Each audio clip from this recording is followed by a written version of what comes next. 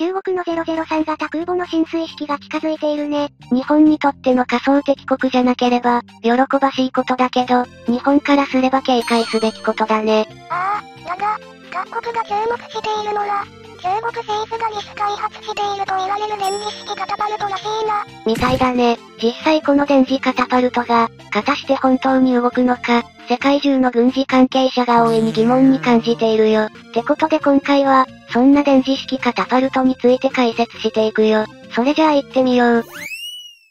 中国海軍空母遼寧や山東省で建造されていると言われる空母の動きが、表立って見られない状況だから、各国軍事筋は中国海軍の空母運用能力の不十分さと、空母そのものに構造的な問題があるのではないかと指摘しているよ。今回は、そんな中国が海上自衛隊の護衛艦出雲を強烈に意識している状況など、中国海軍の空母の状況も合わせて詳しく解説していくからね。日米英語、それにインドを交えてのクアッドなど、アジアとオセアニアの主要国が中国を包囲している状況下において、中国海軍は太平洋に対して機動兵力を行使するために自国で空母を運用することを考えたんだ。しかし、その計画がうまく進んでいない実情において、中国は隣国日本の海上自衛隊が有する出雲加賀の動きをかなり神経質に見ているな。隣国に、レーダーで視認できないステルス戦闘機が存在することだけでも脅威なのに、それなら出雲加賀に艦載可能となっている技術は、中国にとって非常に憂慮すべきことだぜ。うん、でも、中国の憂いはこれだけじゃないんだよね。オーストラリアでは原子力潜水艦が導入されることになり、日本においても同様の動きがあることを懸念しなくてはならなくなったんだ。さらにアメリカでは、中国嫌いで有名なあのトランプ前大統領が再び大統領選に向け動き出したという情報も出ているぜ。中国にとって当面の、そして最大の脅威はやはり海上自衛隊最大のヘリコプター搭載護衛艦だった出雲型だと言われているよ。フラッグシップ艦である出雲と同型艦香川、STOVL 短距離陸垂直着陸機である F35B ライトニング2を艦載する空母としての改修が進められており、2025年には戦力化を達成すると言われているんだ。この状況を受けて、中国メディアのネットイースと香港メディアのフェニックステレビが、日本に対する脅威論を主張を繰り広げているのは興味深いところだね。出雲では、2021年6月に飛行甲板の耐熱化改修を完了したことを受け、いよいよ11月3日に四国沖の太平洋上において、米海兵隊岩国基地所属の F35B が試験飛行を開始したんだ。試験の結果、垂直着艦と短距離発艦に成功し、空母としての基本的な運用に問題がないことが立証されたみたいだね。海上自衛隊では、この出雲と加賀について、2026年頃を目標に空母として運用することを目指し、今後引き続き回収の予定であり、同時にアメリカから導入する F35B 飛行隊を宮崎県ニュータマル基地に編成し、領艦の艦載機として運用することに着手する予定だぜ。中国メディアのネットイースは出雲での F35B 発着艦試験について、日本の軍用艦艇が戦後初めて空母としての運用を開始したことを踏まえて、ヘリ空母である偽の姿を捨て、本性を表したと報じているよ。そして出雲の基準排水量に関しても、中国の空母遼寧が5万8500トンであることに対して、わずか1万9500トンしかないにもかかわらず、艦載機のレベルなどを考慮しても、すでに就航済みの中国海軍空母遼寧よりも戦力が高く、強い空母となることを受け止め、日本に対して十分な警戒が必要だと述べているね。確かに、F35B がステルス性能においても中国軍の最新鋭戦闘機 J15 より優れていることは事実だが、さらに恐れているのはレーダーとして搭載されているアクティブ電子操作アレイ AESA による、アクティブフェーズドアレイレーダー ANAPD81 だな。実際、J15 が搭載しているレーダーでは、F35B を探知できるのは 40km 手前からに過ぎないのに対し、F35B は J15 に 100km 離れた地点からでも探知できる性能があることから、この才能さら絶望的な戦力の差だとも報じているぜ。実際、F35B に対抗できる中国軍の戦闘機は J20 くらいだし、その J20 が束になって出雲に襲いかかったとしても、艦載機数では勝るものの、戦闘機そのもののポテンシャルで考えると、総合的な戦闘力は出雲が遼寧よりも強いと認めざるを得ないんだよね。紙面の締めくくりでも、中国海軍はこの日本の軽空母を甘く見てはならず、もっと警戒を強めるべきだと指摘し、警戒していることを隠そうとはしていないんだ。また香港メディアのフェニックステレビにおいては、10月9日に出雲の F35B 発着艦試験について記事を取り上げていて、日本の海上自衛隊が近い将来2隻の空母を保有することは事実であること、中国海軍が整備を進めている空母打撃群に次ぐ戦力を保有することになることを、脅威と感じていると分析していたよ。さらに、日本が南シナ海問題や尖閣諸島問題の影響もあって、中国を常に仮想敵国として意識していることから、多額の予算を注ぎ込んで自衛隊の装備や武器を増強していると非難し、出雲加賀の空母化もその一環であると、日本の姿勢を批判しているぜ。軽空母に回収された後の出雲加賀には、F35B を14から18機艦載することが可能と言われており、実際に日本政府がアメリカから購入する F35B の予定が42機であることから、購入した全機が空母艦載機として運用されることは間違いないだろうね。そして、出雲と加賀の回収が完了し、空母艦隊として運用を開始できるようになるのは、2026年頃を予定しているんだってさ。その2026年、中国海軍は3隻目の空母を収益させていると言われており、最新鋭の艦載機を最大で130機運用できるようになり、出雲加賀の戦力を質量ともに上回ることは事実だね。香港メディア内実は中国メディアのフェニックステレビでは、出雲加賀の整備にかかる日本の姿勢について、この度の戦力強化は自衛の枠を超え、敵地攻撃力を保有していると言っても過言ではないと非難しているよ。さらに、日本が原子力潜水艦を保有する可能性があることを懸念していて、日本の軍国主義復活を懸念していることを伝えているぜ。軍国主義の復活を懸念する声明は、中国政府とその与党マスコミからよく聞かれることなんだけど、特定の感染の存在等を踏まえて指摘することは珍しいものなんだ。だけど、中国政府の意を受けたメディアは出雲加賀の脅威をかなり気にしているように感じるけど、香港メディアはその真逆に出雲加賀など中国海軍の空母軍にかかれば敵ではない、とも書かれているんだ。中国メディアは、言うまでもなく中国共産党の意向に反することは書かないからね。一方香港メディアは、中国共産党への喜ぶ内容を掲載する傾向があり、中国海軍の空母軍を褒めたたえることで、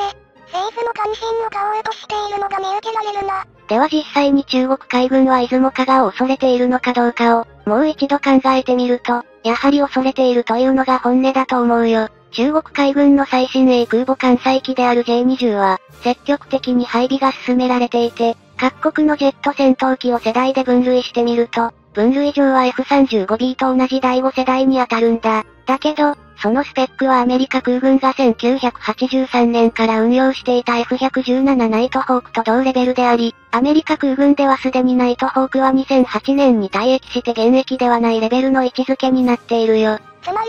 中国の威信をかけた最新鋭戦闘機でさえ、アメリカ空軍の敵ではない、むしろ登場してすぐに旧世代に追いやられるほど、技術面では置いていかれている実情があるんだよな。日本が F35B のようなハイスペックステルス戦闘機を導入したら、中国海軍が数よりも質では圧倒的に不利になるってわけだぜ。日本と中国の間で懸念されるのは尖閣有事で、仮に軍事衝突が起こったとすれば、現実的には出雲と加賀の F35B 約40機で、中国海軍の空母3隻、J20 戦闘機130機と対抗することになるんだけど、いくら質が優れていると言っても、数において劣勢は否めないから、実際に有事になった時には、アメリカ海軍の空母打撃軍の支援を受けることが必要になるだろうね。ちなみに、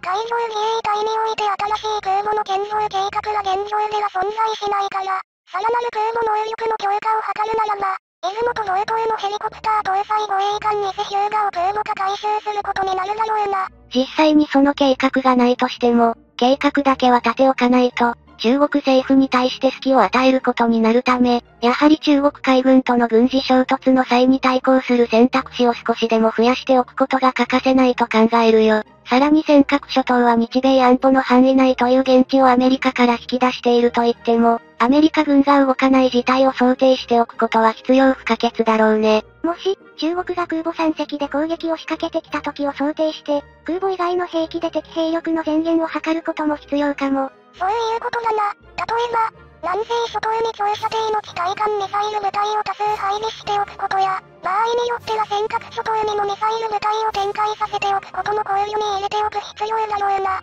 そもそも、空母の建造計画は一朝一夕でできることではないんだよね。だけど、ミサイル部隊を展開させるのはさほどの時間を必要せず、機動的に配備できる部隊を国内に配備しておくことはできるはずなんだ。500km という長射程を持つ人に意識地対艦誘導弾の能力向上を図るなど、防御兵器の配備を加速して進めるべきだろうね。それじゃあ今回はこの辺で、よかったら、チャンネル登録してね。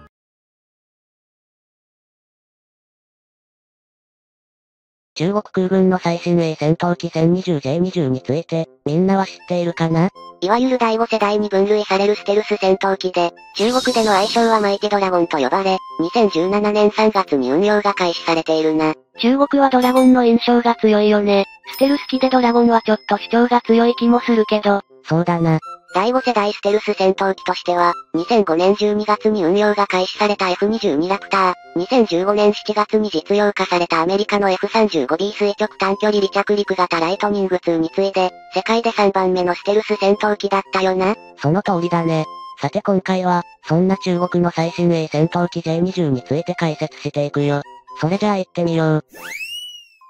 世界の第5世代戦闘機とされているのは、2022年6月現在において先ほどの3機種、F35 には派生型として通常離着陸型の A 型と関西型の C 型が追加されているの他には、2020年12月に運用が開始されたロシアのスホイ57だけなんだ。2022年3月にアメリカ太平洋軍のケネス・ウィルスバック司令官が、ミッチェル航空宇宙研究所によるインタビューの中で、F35 と J20 が遭遇したことについて語っていて、それによると、東シナ海においてアメリカ軍の F35 形式は不明が飛行中に、中国空軍の J20 と遭遇して交戦寸前の状況まで接近したことがあるとし、F35 のパイロットの報告によって J20 の性能と中国軍パイロットの連動について、想像していた以上に高いものであったとしているみたい。また、その際に付近には中国空軍の早期警戒管制機 KJ500 空警500も飛行していて、それらの間で統制の取れた行動を見せていたことに驚いたとして、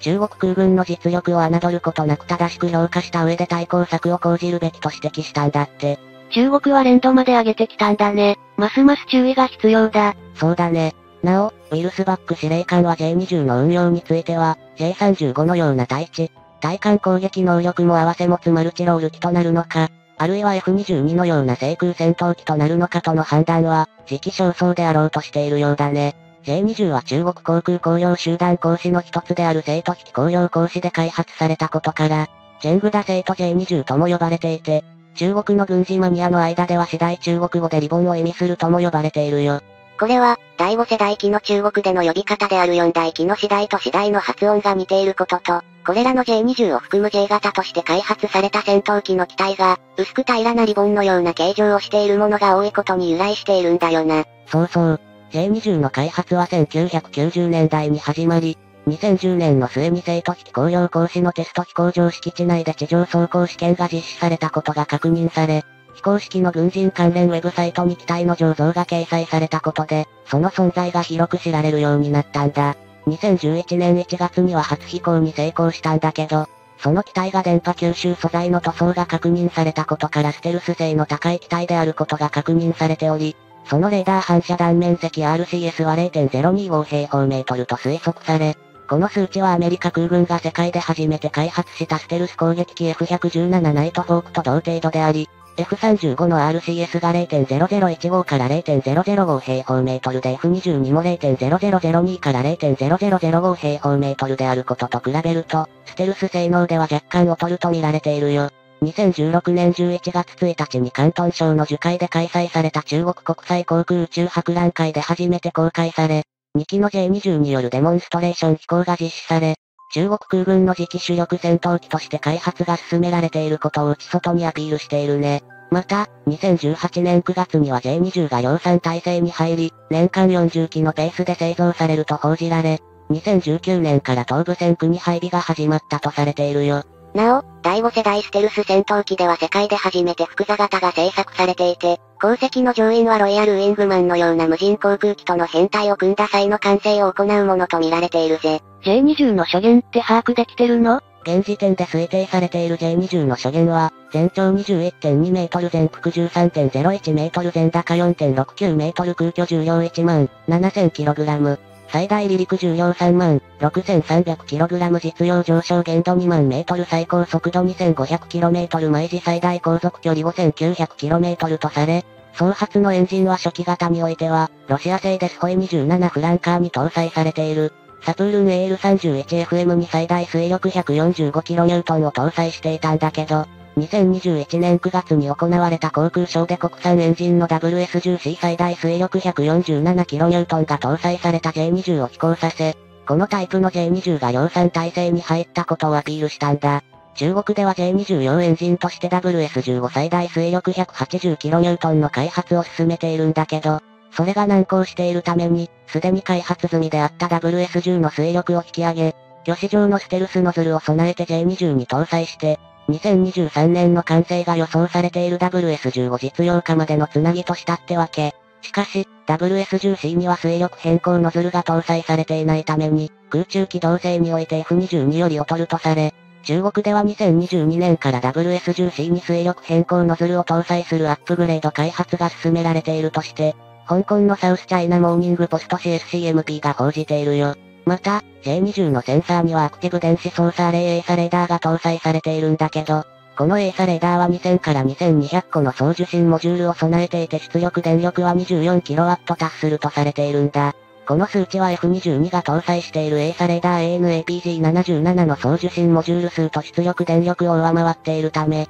J20 に搭載されているエーサレーダーは ANAPG77 より探知距離が長いのではないかと見られているよ。また J20 には、F35 に搭載されている ANA937EODAS によく似た分散開口システム DAS が採用されており、機体の各部に複数のセンサーを備えているほか、機種の下面には F35 と同様に電子工学照準システム EOTS を備えているんだけど、F35 の EOTS86 が空対空空対地赤外線捜索追尾機能を結合しているのに対して、J20 の EOTS は空対空目標の補足標準に比重を置いていると見られているね。ちなみに、J20 の1機あたりのコストは1億1億から2000万ドル約132から160億円と言われているが、2000年代の初頭では4億5000から5億元約88から98億円とされていたもので、それは開発過程において大幅にコストが上昇したことを意味しており、推定されている研究開発費は約300億元約6000億円以上であろうと見られているぜ。F35 のコストは、直近で導入を決定したフィンランドが1機あたり、約7300万ユーロ93億円で購入するとされていることからすると J20 はかなり高いんだけど、量産体制に入ったことで現在では多少は下がっていると思われるよ。また、日本が購入する F35 の価格が1機約130億円と J20 並みの価格となっていることを、アメリカの言いなりになってカモにされているのではないか？などとして批判する声が、左翼政党や左翼メディアなどから上がっているんだけど、これは日本での F35 の製造に国内企業を絡めたことが要因となっているんだよね。防衛省は主力戦闘機採用の条件として、国内企業に機体やエンジンの生産、整備を部分的に任せることを挙げており、F35A を選定するにあたっては、アメリカ政府とロッキード・マーチン社が機体の最終組み立てや検査のほか、主力、尾翼、胴体後部の製造とエンジン組み立てに日本企業が参画することを認めているんだ。この条件を付加するのは、国内企業に仕事を与えて国産化を目指す、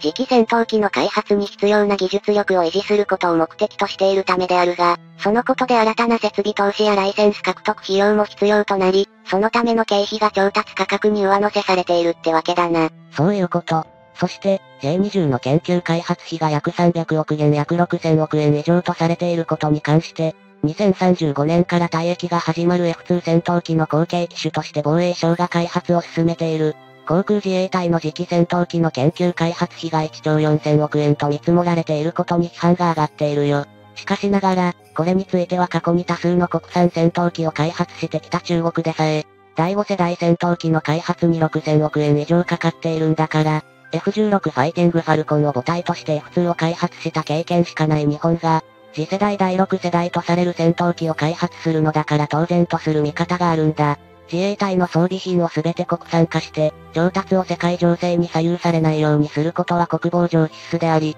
特に高額な装備品である戦闘機の国産開発製造は重要で、国内企業の防衛産業離れが問題視されている現状を踏まえ、ここは多額の投資によって国内企業の防衛産業参画を促しておくべきだろうね。それじゃあ今回はこの辺で。よかったら、チャンネル登録してね。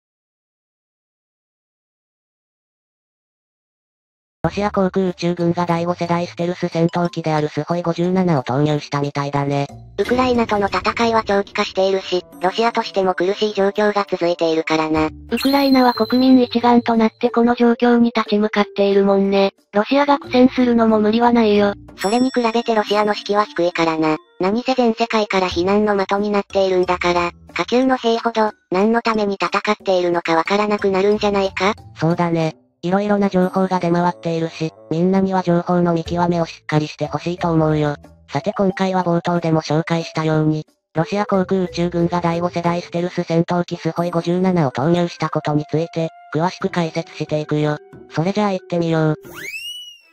2022年2月24日、ロシアはウクライナに対して、ウクライナ国内の新ロシア派住民をウクライナのネオナチ勢力から保護することを名目に、特別軍事行動と称した軍事侵攻を開始したよ。このロシアのウクライナ侵攻に対して、世界各国の政府や指揮者は、軍事大国であるロシアがオグにウクライナをあっという間に制圧するであろうと予想していたね。しかし、そうはならなかったな。ウクライナは米英を筆頭とする西側先進諸国から多くの武器及び情報などの支援を受けながら、祖国防衛という高い式の下に団結して防衛戦闘を展開し、大方の予想を裏切り前線を続け、ロシア軍は4月上旬までにはウクライナの首都キーフを含めたウクライナ北部から完全に撤退し、戦線の立て直しを余儀なくされたぜ。ロシアの慢心と式の低下とか、内側から崩れたことも要因の一つだよね。そうだね。それ以後、ロシア軍はウクライナ東部の新ロシア派の支配地域であるドネツク州やルガンスク州の支配領域拡大を機として、東部及び南部への戦力の集結を図り、攻勢を強める方針に切り替えているんだけど、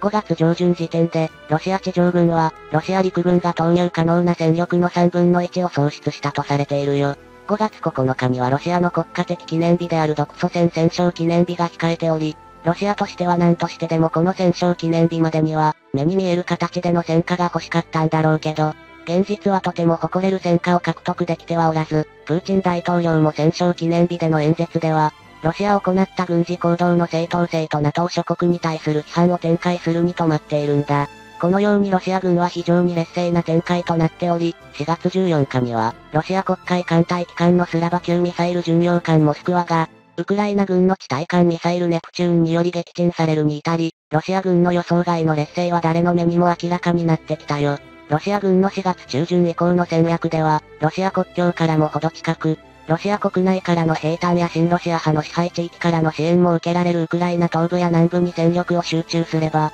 ロシア軍はウクライナ軍に対して大攻勢が行え、一気化成にウクライナ軍を後退させて支配地域を拡大させるはずだったんだ。特にウクライナの東部は、ウクライナ北部とは異なり平地が広がっており、歩兵が身を隠す遮蔽物が少ない地域だからな。そのため、ロシア軍が誇る戦車部隊が最も活躍できる地形であり、戦勝記念日までにはロシア軍は、ウクライナ東部で強力な機構戦力を用いた大規模な戦車戦闘を行うのではないかと見られていたぜ。それに対してウクライナ側は、北部では歩兵が遮蔽物に隠れて、歩兵傾向式対戦車ミサイルを用いた待ち伏せ戦闘を主にロシア軍を迎撃していたが、待ち伏せ戦闘が難しい平野においては、防御力が皆無である歩兵では、対戦車戦闘では非常に不利な状況であるとの分析が、西側各国の指揮者から示されていたんだ。うんうん。ウクライナも同じような懸念は十分に認識しており、NATO 諸国を中心に戦車や榴弾砲等の重装備の提供を切望しているよ。これに対して米国を中心とした NATO 諸国等は、約100門の 155mm 榴弾砲や自走榴弾砲の提供を決定しており、順次ウクライナへの輸送を行っているね。さすがに西側第三世代主力戦車の提供は、ロシア側を必要以上に刺激することを恐れていってはいないけど、NATO に加入した旧東側諸国が保有する旧ソ連製の T72 戦車等を積極的に提供しているよ。西側諸国はロシアに対する経済制裁を強化していて、ロシア国内では、一部の商品では品切れが相次いでいるよね。しかしながら、ロシアは国内では食料や天然ガス等の資源が豊富であるため、経済制裁の効果は現れがたいのではないかという意見も指揮者から上がっているが、しかし資源や基本的な食料についての自給は可能であっても、ロシアは精密機械の製造技術が未熟であり、精密機械については他国からの輸出に頼らざるを得ない実情があるぜ。例えば、ロシア国内の携帯電話網を維持するための保守部品の大部分は西側諸国に属する企業のものを使用しており、この企業がロシア国内での部品提供を拒んでいる現状では、ロシア国内の携帯電話網を維持することは相番できなくなり、ロシア国内で携帯電話を使えない地域が拡大していくのでではないかとの懸念が上がっているな。そうそう。さらにミサイルや精密機械に利用される半導体もロシアは輸入に頼っており、現状では中国からの輸入に頼っている状態のようだけど、中国からの輸入では賄えない部品も数多く存在し、そのような部品に依存する兵器についてはロシア国内での生産もままならなくなるんだ。そのような兵器は外して高性能な兵器であり、ロシアとしては在庫に限りのある高性能兵器については、今回のウクライナ侵攻では極力使用したくないというのが本音だろうね。しかしながら、先に述べたようにロシア地上軍の3分の1の戦力が戦闘により消失し、航空戦力についても3月中旬時点で、ロシア軍はジェット機とヘリコプターをそれぞれ100機以上喪失した模様だとの報道もなされているんだ。このような情勢の中、ロシア軍は数の上で主力を担っていた、70年代から80年代の旧ソ連時代に製造された兵器軍の在庫が不定してきているようだね。ロシア軍が保有する戦車について、4月末時点で写真等にて確認されている限り、T64 戦車が15両、T72 戦車が379両、T80 戦車が115両、T90 戦車が19両破壊されていることが確認されているよ。そして、4月後半には、これまで投入されていなかった最新型の T90M がウクライナ戦域に投入され、撃破されていることが確認されてるんだ。ロシア側にとっては大打撃だよね。さすがにここまでの反撃は予想外だったんじゃないかなところで T90M って ?T90M 戦車は、2021年より部隊配備が開始された最新型の戦車だね。本来、ロシアは T14 戦車と呼ばれる最新鋭戦車を開発して配備を目指したんだけど、経済情勢の悪化や部品調達がうまくいかずに同社の開発が遅延し、その穴を埋めるために T72 戦車をベースに現代戦に対応すべく大幅な近代化改修を行い開発されたんだ。T14 戦車が投入できないロシア軍としては、まだまだ数も揃っておらず、補充もままならない虎の子の戦車だけど、数の上で主力であった T72 戦車の大量撃破により運用可能な戦車が沸騰してきているのか、4月中旬頃より戦線に投入されたようだね。戦線投入後、数日で撃破されたようだけど、ロシア陸軍が補充の効かない高価な戦車を投入せざるを得ないほど、ロシア軍内部で戦車のやりくりが難しくなっている状況が伺えるね。そして、それはロシア空軍の方がもっと切実なんじゃないかな。ロシア空軍が現在保有する戦闘機戦闘爆撃機以下、作戦機は約1200機なんだけど、2014年のロシアのクリミア併合により欧米から経済制裁を受け、そもそもロシアの GDP が韓国以下であることを考慮に入れると、運用可能状態にある機数は多くても保有数の35%程度、420機ほどであると思われるよ。そして、そのうち、ウクライナ戦線に投入した作戦機のうち、100機程度は撃墜されたものと報道されているため、ロシア空軍は運用可能な作戦機の4分の1をすでに失っているものと推定されるんだ。特にロシア空軍はウクライナ上空での航空優勢の確保に失敗した影響で、大型の地対空ミサイルによる迎撃を受けやすい航空での飛行を避け、ウクライナ上空では低空で飛行することを余儀なくされており、この影響で地対空砲や歩兵傾向式の近距離地対空ミサイルによる迎撃を受け、損害を拡大させた経緯があるからな。そうだね。ロシア空軍の苦しい懐事情は、戦線に投入される戦闘機にも現れ始めているよ。ロシア空軍は4月に入り、ウクライナ戦域に第5世代ステルス戦闘機であるスホイ57戦闘機を投入し始めたんだ。スホイ57は2010年に初飛行したロシア空軍の最新鋭戦闘機で、初飛行から12年経過した2022年時点でも76機しか発注されておらず、この機数の配備を完了するまでには2028年までかかる見通しであるとされているよ。スホイ57のスペックについて詳しく。スホイ57戦闘機の基本スペックとしては、単座式の総発機であり、全長19.8メートル、全幅14メートル、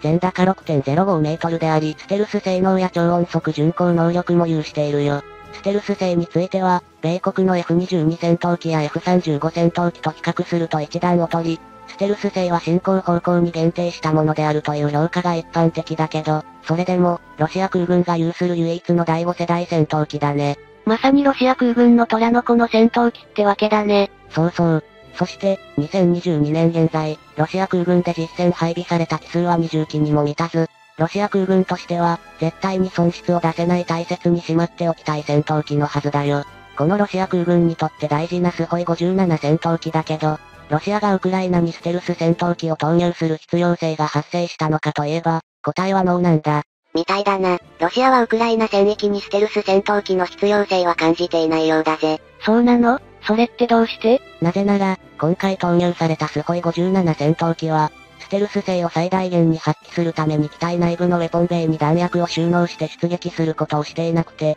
弾薬の搭載量を最大化するために従来型戦闘機のように機体外部に弾薬を取り付ける形式で飛行していたんだ。これは、スホイ57戦闘機の利点が全く活かされてなくて、ステルス戦闘機としてではなく、従来の戦闘機と同様の運用方法で戦線に投入されていることを示しているよ。これでは、撃墜されて西側諸国に機密漏洩する危険性を冒してまで、スホイ57戦闘機を投入した意味がないよな。そこから推測されることとして、ロシア空軍内で既存の戦闘機や戦闘爆撃機の在庫が不定しているのではないかということだね。もともと、稼働率の低いことが推測されていたロシア空軍だけど、ここに来て、稼働率が深刻なレベルにまで達しているのかもしれないよ。過去、ロシア空軍は2018年のシリア内戦でスホイ57戦闘機の実戦投入を行っているんだけど、シリア内戦で投入した際は、ロシア空軍の盛況さを世界にアピールする絶好の機会となったんだけど、ウクライナ侵攻においては、ロシア空軍の脆弱さを示すこととなり、両者が麻薬の結果となってしまったことは、ロシアにとって非常に皮肉なことだよね。それじゃあ今回はこの辺で。よかったら、チャンネル登録してね。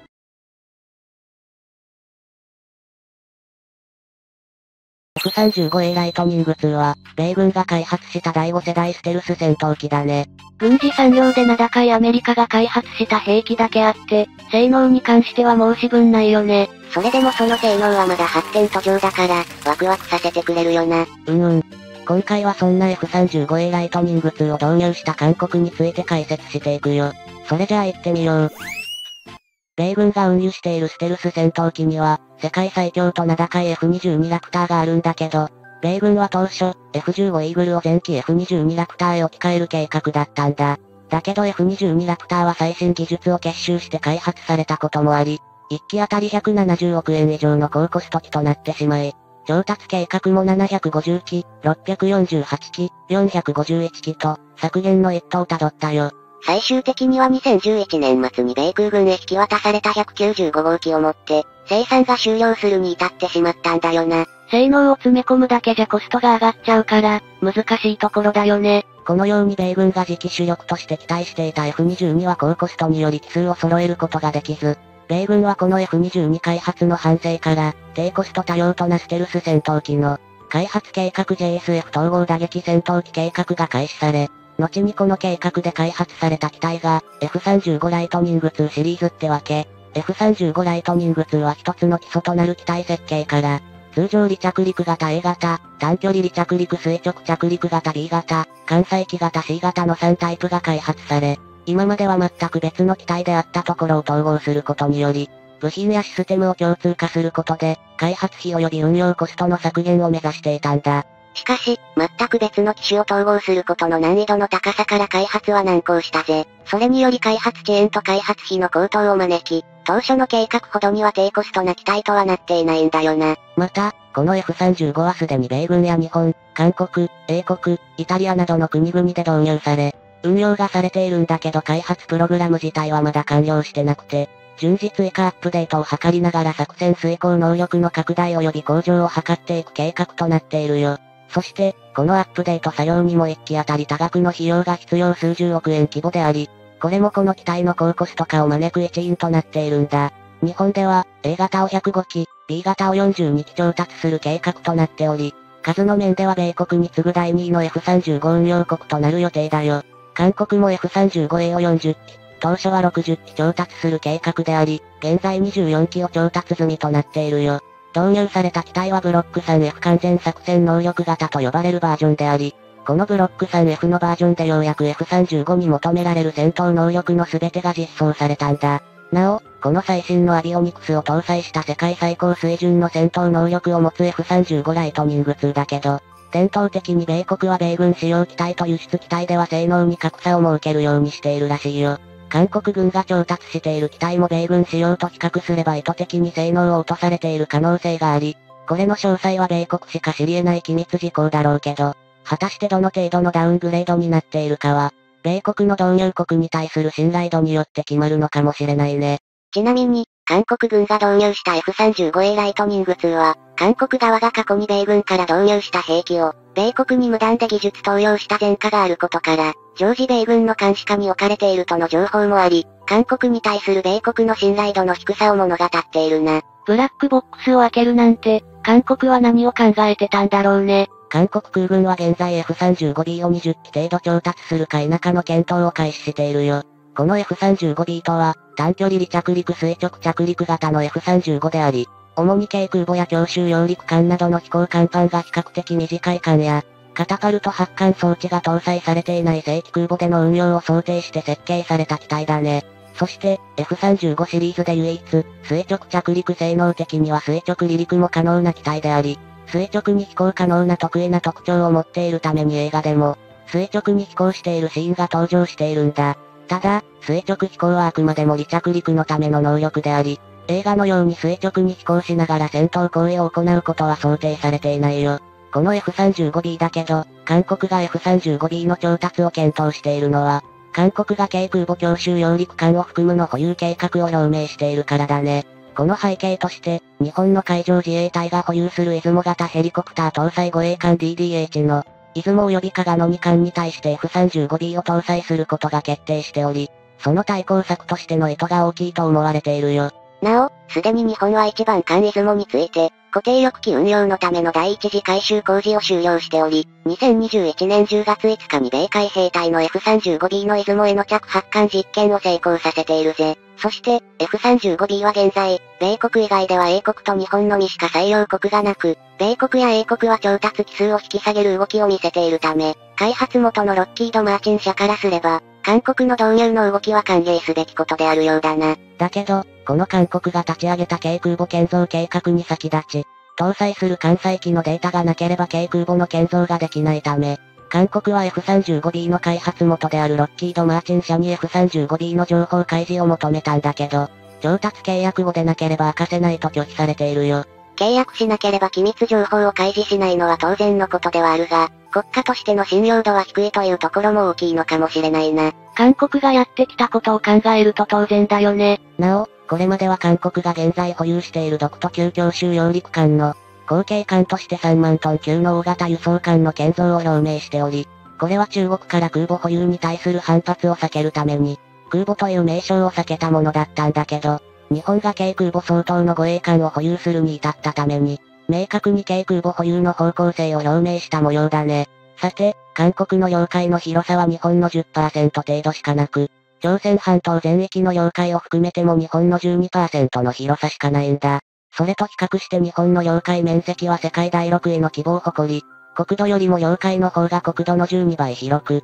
日本は世界に名だたる海洋国家となっているよ。そのため、日本の場合、遠く陸地から離れた海洋での防衛任務も想定され、陸上の航空基地からの支援が得られにくい場所でも航空作戦を実施するために、海上の航空基地たる空母を保有することには一定の合理性があるんだ。特に対中国の脅威から、南シナ海及び長大なシーレーン防衛には、限られた陸上の航空基地からだけでは即応性に課題があるからね。その反面、韓国の場合、東、西、南のどの領海内においても、陸上の航空基地から十分な支援が得られるんだ。そもそも、日本とは違い、韓国が相対している敵は陸続きの北朝鮮であり、北朝鮮相手に高価な空母を保有する合理性はないよ。つまり空母ではなく、陸上戦力や空軍戦力に重きを置くべき防衛環境と言えるんだね。また、軽空母での運用が想定される F35B は通常離着陸型の F35A と比較して、燃料搭載量が少ないために航続距離が短く、垂直着陸に要する装備の追加による機体重量の増加の影響で、搭載可能な兵装も少なく、整備性や信頼性も悪化しているよ。端的に言えば、F35B は短距離離着陸垂直着陸の能力以外は、F35A に全てを取っていると言えるな。そのような作戦機として劣った機体を F35A に変えて導入するほどの、国防上の利点が韓国にはないため、今回の韓国の F35B 及び軽空母導入計画は、日本が保有するから韓国も欲しいという虚栄心からのものであると考えられるよ。今回の韓国の軽空母保有検討の問題で日本が懸念することは、韓国が米国の意に反した行動をしつつあるということだね。トルコがロシア製のミサイルを導入した際に米国が反発して関係が悪化したように、韓国がそれと同じような状況となれば、韓国の東アジアにおける共産主義国家からの、西側諸国の防波堤の一翼としての機能が薄れ韓国が担っていた負担が日本に移り、それが日本に重くのしかかることになるんだ。ほんといい迷惑だよ。また、F35 ライトニング2は、日々のメンテナンス以外は特定の国家に設置された。組み立て製造及びメンテナンスを行う拠点 FACO で重整備や、機器のアップデートなどを行う必要があるんだけど、東アジアにおける拠点は日本にあるんだ。これについて、韓国は政治的感情的に日本での動機の整備を拒否しており、韓国における F35 ライトニング2の稼働率低下が懸念されるよ。日本の場合、F35 ライトニング2の稼働率を向上させるために FACO を日本に誘致し、日本国内で機体の組み立て作業も行うために F35 の調達価格も韓国よりも3割ほど高くなっているぜ。これは日本が、ただ F35 ライトニング2という機体を導入することだけしか考えていなかった韓国とは違い、実際に運用する上で防衛上必要な稼働率の確保に重きを置いていることが伺われるよな。また、FACO は F35 ライトニング2の機密事項を多く取り扱うため、国家としての信用度も大きく問われ情報漏洩が行われないと米国から信用される必要があるぜ。うんうん。ただ、これについては、日本と同様に FACO を開設しているイタリアが、昨今のコロナウイルス感染拡大の影響によって経済状況が悪化し、中国の経済援助への依存がますます強くなっており、これにより、イタリアから中国へ機密情報の漏洩が懸念されているんだ。中国の脅威は全世界的に広がっているから、日本もイタリアのように中国への依存度を強めれば米国からの信用度も低下する可能性があるし、日本は難しい舵取りを迫られているんだよね。ちなみに韓国は日本の人口の半分であるにもかかわらず、日本とほぼ同額の防衛予算を計上しているよ。韓国ではインドネシアと共同で開発を行う予定であった。国産4.5世代戦闘機 KFX の開発費の負担増加も問題になっているよ。国民1人当たりの防衛予算の負担が日本の2倍ということもあり、国民から防衛費の使途について、もっと有効な使い方を求める声が韓国内からすでに噴出しており、今後の韓国の動向が注目されるね。それじゃあ今回はこの辺で。よかったら、チャンネル登録、よろしくね。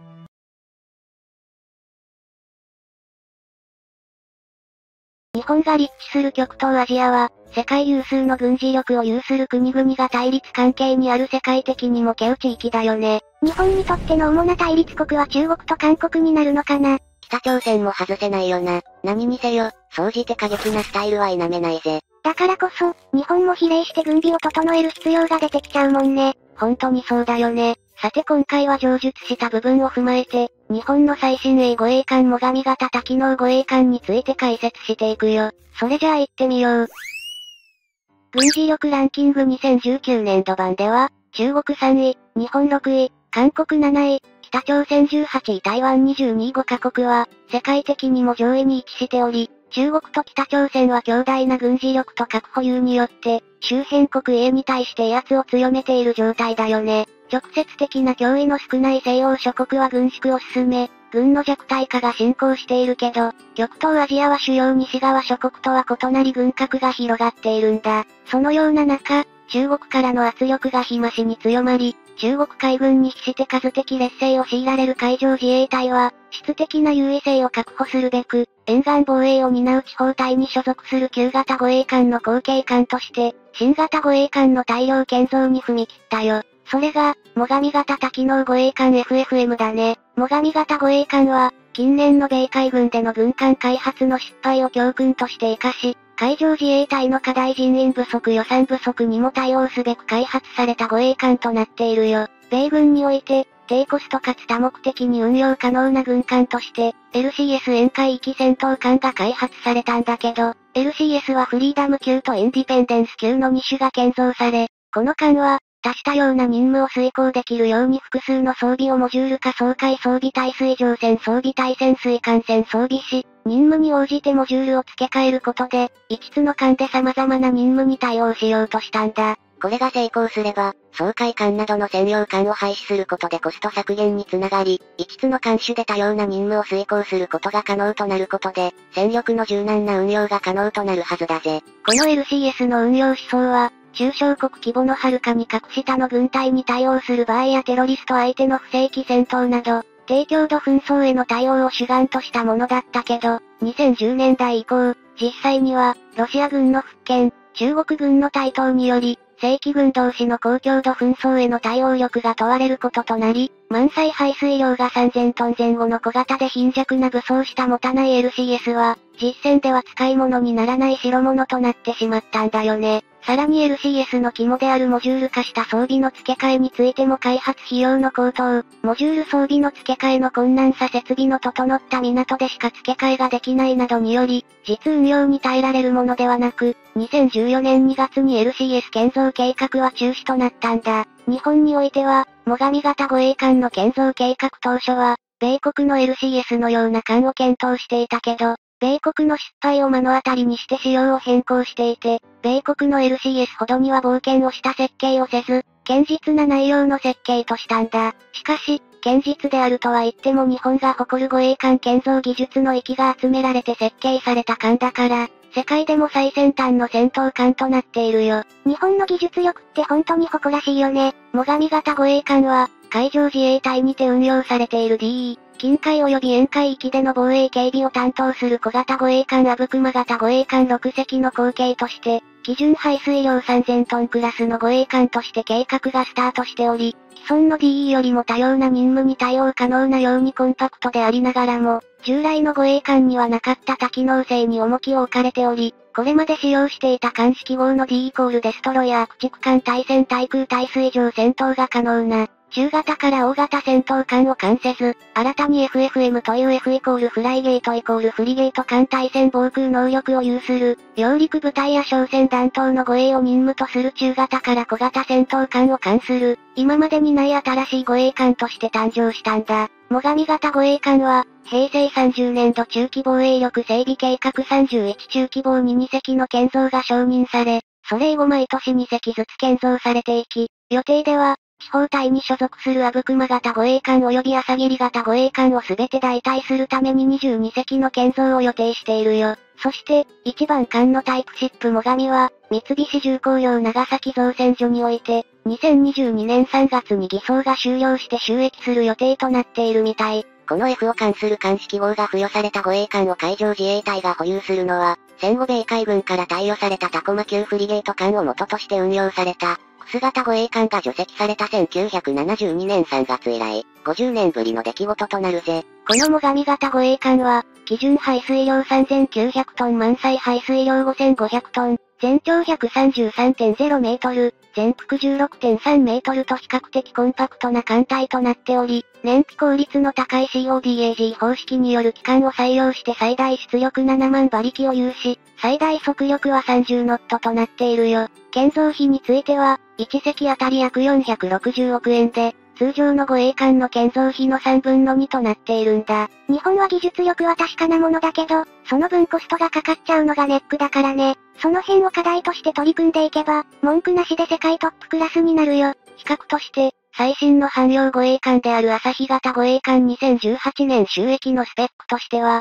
基準排水量5100トン満載排水量6800トン、全長151メートル、全幅18.3メートル、となっており、一回り以上小型の艦隊となっているね。建造費用も701億円であり、最上型は朝日型の約66%の費用で建造されたことになるんだ。なお、1988年に収益した朝霧型汎用護衛艦の満載排水量は4900トンであり、現在建造が進む FFM 最上型護衛艦よりも汎用護衛艦でありながら小型な艦隊となっていたんだ。これは、現用の汎用護衛艦は高性能な機器や武装を多数装備することを可能とするために大型化してしまったことが要因であり、汎用護衛艦の大型化によるコスト高が新たに FFM という艦種を生み出した要因の一つでもあるよ。最上型護衛艦の外観上の特徴としては、ステルスマストが採用されていることであり、これはメインマストとマストに設置する機器をカバーで覆うことでステルス性を高めたもので、2000年代より諸外国の戦闘艦で採用が進んでいるんだ。ミリタリーファンからは、ステルスマスト採用艦はどれも似たような艦形となっており、艦ごとの個性が乏しくなっているとの意見が聞こえ、その受けは良くないようだな。最上型護衛艦は、この他にもステルス性を高めるために、艦隊全体のレーダー反射面積 RCS の低減を意図したデザインを多く採用しており、主艦体と上部構造物には傾斜が付けられており、前甲板から飛行甲板下の5端までナックルラインとなっているね。また、上甲板における装備の配置は、これまでの護衛艦からは大きく異なっており、これまでは前甲板に設置されていた東洋病関連の機器や偽装は艦内配置とされた他に、上部構造物を両舷いっぱいに張り出すようにデザインされており、両舷に設置されていた上甲板の露天通路が艦内設置となっているよ。搭載兵装としては、62口径5インチ速射砲1門、RWS 遠隔操作式無人重化式 12.7mm 機関12機、シーラム近接防御火器1機、17式 SSM 艦対艦誘導弾4連装発射塔2機、324mm3 連装単魚雷発射管2機となっており、後日装備予定として、マーク 41VLS16 セルを1基搭載が予定されているみたい。VLS が後日装備扱いとなったのは、建造時には搭載予定の国産の新型アスロックが完成していなかったため、新型アスロックが完成次第、VLS を装備することとしたんだ。また、あさひ型護衛艦より採用された、複数の艦で共同して潜水艦を探知する機能であるバイスタティックオペレーションが可能となっており、従来探知が困難であったステルス性を有する潜水艦についても、その探知能力を飛躍的に向上させているぜ。艦載機としては、SH60 系哨戒ヘリが1機搭載可能となっており、対水上対潜水艦戦闘に主眼を置きつつ、対空戦闘能力は艦載砲及び近接防御火器に依存した限定的なものになっているよ。対空戦闘能力が最小限となっているのは、同艦は日本沿岸部の防衛及び警備で使用することを想定した艦であるため、敵航空戦力の迎撃については、航空自衛隊の防空能力に任せた方が理にかなっているということであると思われるね。そして、他の護衛艦にはない最上型独自の特徴として、大気来戦能力を有していることなんだ。そのため、現在海上自衛隊が進めている、総会部隊の削減によって生じた大気来戦能力の低下を最上型護衛艦にて保管することを目指したものだね。最上型が有する大気来戦装備は、大気雷戦ソナーシステムの99911が搭載され、機雷の排除には、無人機雷排除システム水上無人機 USB と機雷捜索用の無人機 UUV、栄光型総会具を使用することとなっており、安全かつ確実に機雷を排除できるよう最新の装備が搭載されることになっているよ。また、この機雷捜索用の無人機 UUV は、自立型水中高層式機雷探知機 OZZ5 が採用されており、制御は自立駆動となっており、これまでよりも広範囲の捜索が可能になっているほか、サイドスキャンソナーとして高周波低周波合成開口ソナーを採用しており、これによって高周波にて小型ステルス化した機雷を探知し、低周波では泥質海底に埋没した機雷を高精度で探知できるようになっているんだって。このほか、情報統合システム C4ISR として、艦船運航システム、艦船維持管理システム、艦内外通信システム、指揮統制システム、各種武器システムなどをオープンアーキテクチャ OA 化して、それを標準化されたネットワークシステムへ組み込む形でシステム構成がなされているぜ。これは、今後、艦の並走やシステムをアップデートしていくことを前提にシステム設計がなされているということであり、当初は最低限度の装備ベースラインで収益していき、その後、状況によって順次追加装備やシステムアップデートを行うことで、その時代に即した能力向上を容易に実現できるようになっており、艦の陳腐化を防ぐことを狙っているな。そして、最上型は他国の同規模の艦と比較しても大幅な精進員化が図られており、定員は90人となっているんだって。また、女性専用区間も設けられており、慢性的な人員不足に悩まされている海上自衛隊にとっては非常に有用な艦となっているってわけ。さらに乗組員もクルー制を採用しており、3隻に4組のクルーを配置することで、1組を休養に当てたとしても残り2組が訓練及び運用に当たることで、艦の運用効率を高めつつ、確実に艦の整備も実施できるとされているよ。機能性はもちろんだけど、乗組員のことまで考えて、細かい部分にまで気を使っているのが日本らしいよね。今回の最上型での精進化、省力化、コスト低減などは、米国の LCS での取り組みを日本版にアレンジして試しているという見方もあるんだ。米海軍では LCS の価格高騰、能力不足によりその取り組みは失敗に終わったけど、米軍とは違い、近海防衛任務を主とする最上型であれば、LCS のコンセプトに合致する可能性もあるため、最上型の今後に注目が集まっているよ。それじゃあ今回はこの辺で、よかったら、チャンネル登録してね。